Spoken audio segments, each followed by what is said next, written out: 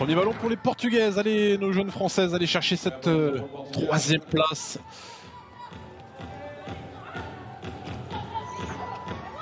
Le tir pour euh, Laura Oliveira manqué.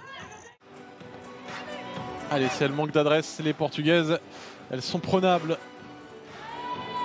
Eh, oh là là, que la avec la planche. Allez, c'est une belle défense ça. Allez, t'as le temps, t'as le temps, Johanna. Distance, Ouais, bien joli ce petit tir là. Ah, C'était compliqué ce tir de Johanna ouais. Ewodo. Dur, dur. Allez. Elle est ciblée, Emma, elle est ciblée à l'intérieur à chaque fois. Ça serait bien d'éviter de changer sur certains pick and roll, sur certaines euh, phases de jeu. Garder la joueuse avec laquelle on est, faire l'effort, Ça, c'est passer un beau au-dessus. mouvement. Ça, c'est bien joué, ouais, c'est bien joué. Euh, la saison dernière, les U24 françaises qui ont disputé deux finales. Océane.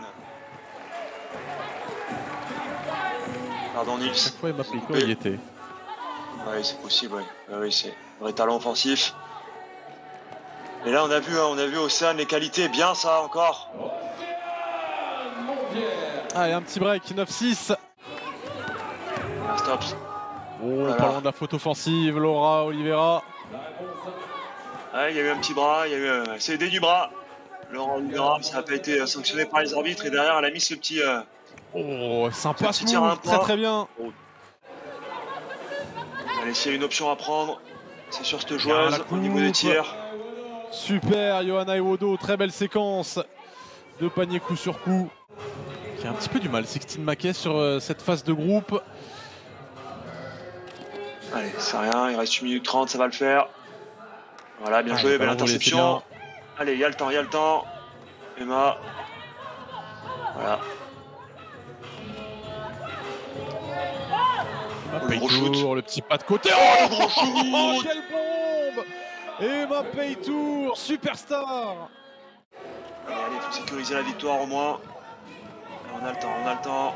Il reste 5 secondes. Oh, c'est dur ça, c'est dur. Pierrot, c'est fort Oh là là Pierre, là, le tir sur un pied. Ce flotteur Quel shoot Ah, Océane qui a pris ses responsabilités sur ce match-là face au Portugal. Je disais qu'il est capable normalement d'attaquer le cercle avec ses, ses cannes. Elle le monte sur les. Allez, c'est bien, c'est bien. à la bonne opération pour l'équipe de France U24 qui est la première ici à Marseille à faire chuter le Portugal qui va chercher une victoire de défaite, c'est le bilan.